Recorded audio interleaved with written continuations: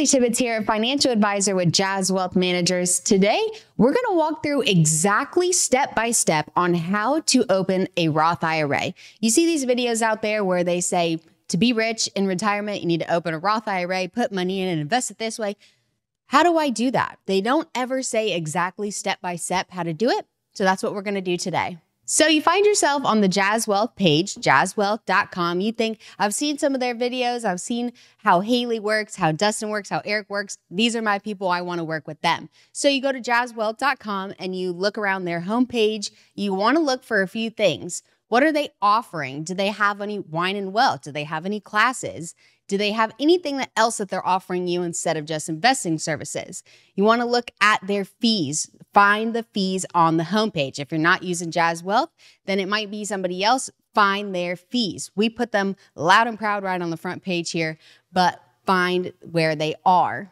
Now, with us, we have one fee, one fee only. That's based on your total account size. So you have 100,000, you're getting charged 1% a year. Plain and simple. There might be some other hidden fees or commissions, things like that with other people. Make sure you know what they are and make sure you're good with that. All right, scrolling back up to the top, we're gonna click on Invest Now. There will be somewhere on the website or platform that you choose to start an application. They're gonna need to have things like your name, your email, your last name, your social security number, anything basic information like that, so they can do a very quick background check on you. You don't see it happen, but they're gonna check for your information, make sure you are who you say you are, and that you're not on any kind of crazy list out there. This is where it's going to ask you to make a username and if you're a US citizen or not. And I'll let you in on a little trick here. You don't have to be a US citizen. If your citizenship is not in the US, that's okay. As long as you're a US permanent resident, you are allowed to have an account in the US. Most brokerage firms won't allow you to have an account if you are not at least a US permanent resident. So you want to make sure that that's at least the case. All right, so you keep filling out the basic information, your address, your phone number, your social. It's going to start asking you about your employment status. Where does your source of wealth come from? Because as we know, if you have a Roth IRA, it has to be hard earned money. So where does that money come from? It's going to ask you what the employer's name is, what line of business it's in, and what country is the business in. Where are you doing business? How do you make your money? It wants to know these things to open your account. It's going to ask you a few things about this employment. What's the employer's name, what line of business it's in, where the business is located, and how much do you make? If you have another source of income, it will have a chance to ask you that as well. Or if you're married and one of you is employed and one of you is unemployed, you put on there that you have partner or spousal income. Now, on the second half of the application, we're going to move away from more of the basic stuff. It's going to ask you compliance questions now. This is where the brokerage firms need to check that you're not going to be making any huge money moves that are going to sway the market. So, if you're more than 10% of a shareholder, or if you own a company that's related to the finance industry, they want to make sure you're not one of those people. Or if you are, you just have to fill out an extra little form.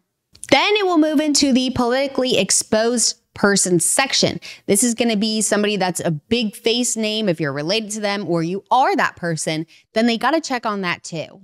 Just a few compliance things they need to check on before you get started. Like I said, they're running that tiny little background check on you just to make sure you're not going to do anything you shouldn't be doing. Some firms might also ask you if you're going to make any wire transfers or check transfers. If you don't think you're going to do any, put one just to be safe because if you one day decide you need to write a check and send it to your account or you make a wire to your account, they won't flag you and be like, whoa, she said she wasn't going to do any. Just put one just to be safe. Now we're at the point where it's going to ask what kind of account do you want to open? Is this a Roth IRA, and a taxable account, a joint account? It's going to ask you at this point and if you're starting fresh or if you're transferring from a different firm. Now to the most important part of the application is setting up a beneficiary. Just don't keep going if you don't have the information ready. Stop here, go get the information you need, and then put the beneficiary in.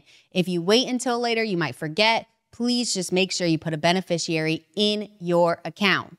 Okay, now on the last little section here, we're going to ask about you. This is kind of just some general information we can gather about you, how far you are from retirement, what kind of investing do you want to do? Are there any legal constraints that you're not allowed to invest in these things? Or do you just feel really strongly about this and don't want to invest in it anyways?